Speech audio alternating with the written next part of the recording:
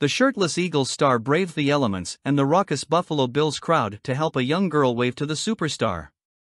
Jason Kelce can do no wrong, according to a few Buffalo Bills fans.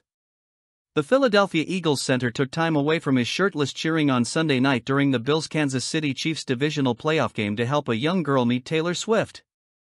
In a video posted to TikTok, the 36 year old NFL star, standing outside a suite at Highmark Stadium, helped give the girl a boost and positioned her so that the anti hero singer could read her sign.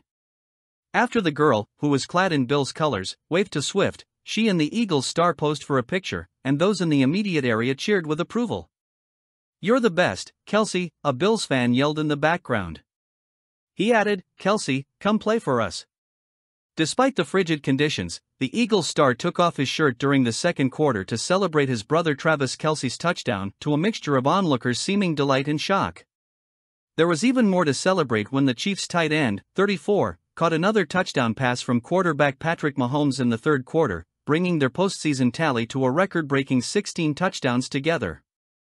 Also seated in suite was Mahomes' wife, Brittany, who shared her own excitement with Swift after her husband and Kelce connected in the third quarter. The friends embraced each other after the play, as others in the suite cheered in reaction the touchdown.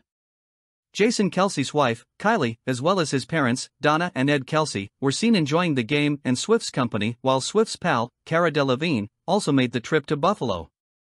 The Chiefs went on to win, defeating the Bills 27 24 to advance to the AFC Championship, where they'll face off against the Ravens on January 28.